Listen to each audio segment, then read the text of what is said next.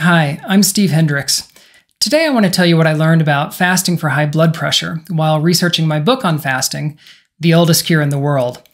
In the United States, nearly half of all adults, 47%, either have high blood pressure, which is defined as greater than 130 over 80, or would have high blood pressure if not for their medication keeping it down. But even among people taking medication for hypertension, three out of four still have it and every year, half a million Americans are killed by hypertension either outright or as a contributing cause of death. It kills by making the heart work harder and by putting too much stress on the walls of arteries, which makes them inflexible.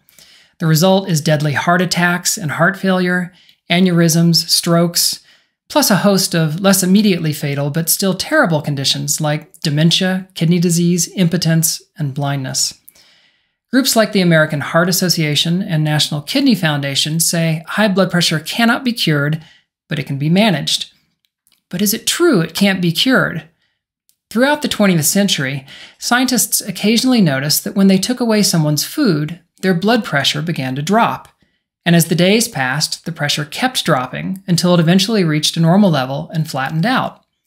But it wasn't until the 1990s that a fasting doctor named Alan Goldhamer became the first person to study the matter in a large group of fasters. Goldhamer runs America's biggest fasting clinic, the True North Health Center in Northern California, and for his study, he enlisted the help of T. Colin Campbell, a renowned professor of nutritional biochemistry at Cornell University. Together, they looked at 174 of Goldhamer's patients who came to True North with high blood pressure and fasted for an average of a week and a half on nothing but water. Goldhamer and Campbell found that 154 of them, nearly 9 out of 10, normalized their blood pressure. Even those who didn't get down to normal blood pressure still enjoyed substantial drops, and all of the patients who had been on drugs for hypertension before their fasts were able to discontinue those pills. The patients who did the best were the ones with the worst blood pressure before fasting. On average, patients with severe hypertension, stage 3, enjoyed a staggering drop of 60 points in systolic pressure, the top number in a blood pressure reading. That's 60 as in 60. Among all the patients, the average drop in systolic over diastolic pressure was 37 over 13. Never before had any therapy reported in a scientific journal, not drugs, not exercise, not any other lifestyle change, produced a drop that big. Goldhamer and Campbell submitted their groundbreaking findings to one journal after another and were rejected by 30 of them. Apparently, the idea that fasting could heal, let alone heal spectacularly, was beyond the comprehension of most science editors. Finally, though, in 2001, an obscure but not disreputable journal published their findings, which to this day remain the largest drop in blood pressure ever reported from any therapy in a peer reviewed journal. The following year, Goldhamer and Campbell published another study focusing on how fasting affected people who were only mildly hypertensive. 82% of the patients in that study achieved a healthy blood pressure of 120 over 80 or lower, with an average fast of just two weeks, and their average drop was 20 over 7. This was all great news. But what about after the fast? One problem that researchers had noticed over the last century was as soon as a faster started eating again, her blood pressure shot back up. This led researchers to think of fasting, to the extent that they thought about it at all, as some kind of parlor trick that could work temporarily but couldn't bring about a real cure. But Alan Goldhamer was working in a long line of fasting doctors, many of whom had said if a disease went away when you took the food away, wasn't it possible that something in the food was causing the disease? And if so, was it any surprise the disease came back when you refed fasters on the same food that had caused the disease? Fasting doctors like Herbert Shelton in the United States, Otto Buchinger in Germany, and Alec Burton in Australia had found that diets heavily based in plants usually kept the diseases that disappeared during fasting from returning on refeeding. From their clinical observations, and from more recent scientific evidence as well, Alan Goldhamer concluded that the healthiest diet was probably a vegan diet of minimally processed plants, free of added salt, oil, and sugar, what he calls an SOS free diet of whole plants. Not coincidentally, his co author, T. Colin Campbell, found the same thing in his pioneering research, which he detailed in his best selling book, The China Study. So Goldhamer refed the, the fasters at his clinic on an SOS free, whole plant diet and urged them to keep eating it when they went home. Among 42 volunteers in Goldhamer and Campbell's first study, who took part in a follow up six months after their fasts, the average blood pressure rose hardly a jot, and the people who did best seemed to be the ones who stuck closest to Goldhamer's diet. To all appearances, fasting followed by a diet of whole plants had cured them of their high blood pressure.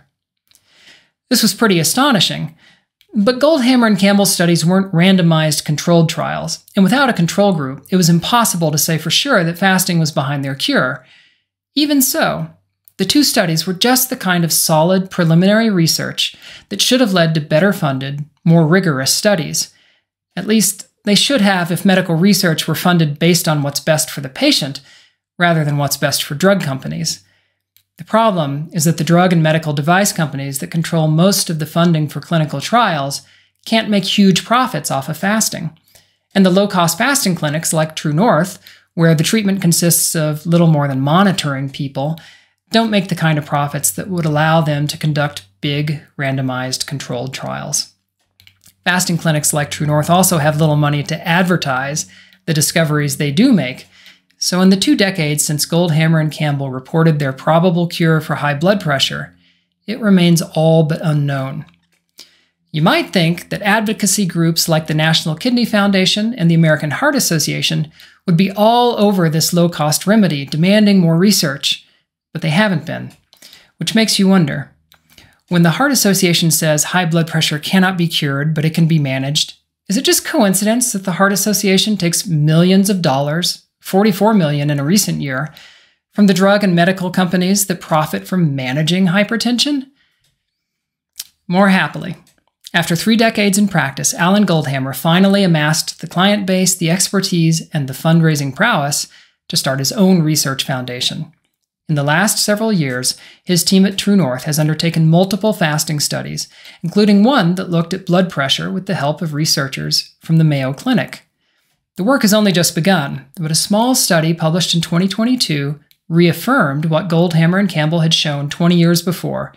In a group of volunteers who fasted for a median of 17 days, the average systolic blood pressure dropped from 130 to 119, and it continued to fall slightly to 117 as the volunteers refed on an SOS free whole plant diet.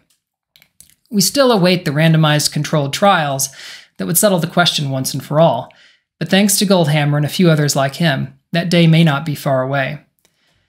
But if you or someone you care about has high blood pressure, you don't need to wait for more research to see if fasting can help. Fasting under medical supervision has been proven safe in multiple trials, and virtually everyone with high blood pressure who fasts enjoys a substantial drop.